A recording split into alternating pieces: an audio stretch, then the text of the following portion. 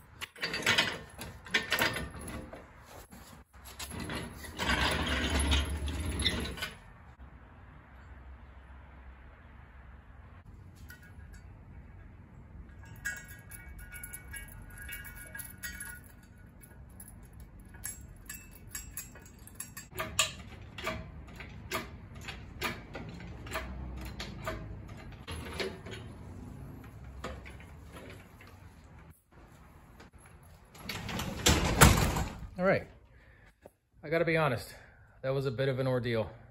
I still haven't gotten around to bringing 220 service into the shop. So in order to weld this 3 8 plate, I had to run the machine at 220. So I ended up making a extension cord and running off the dryer outlet from the basement. So a bit of a headache to run an extension cord through the house, but no big deal. Was able to preheat the 3 8 plate and run a pretty decent root and cap. It certainly is a lot of work, but uh, I had fun doing it. Uh, if I had to do it again, I flat out wouldn't. I would just buy one from Stumpy's Fab. They have a few available for different engine sizes. So I'm excited to start chipping away at it. I'm interested to see it, how much sludge is in the uh, oil pan. So until next time, thanks for watching.